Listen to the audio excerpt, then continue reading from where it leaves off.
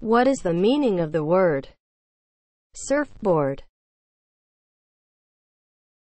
As a noun, a narrow buoyant board for riding surf. As a verb, ride the waves of the sea with a surfboard.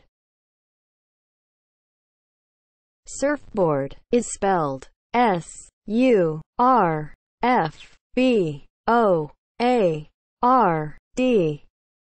Surfboard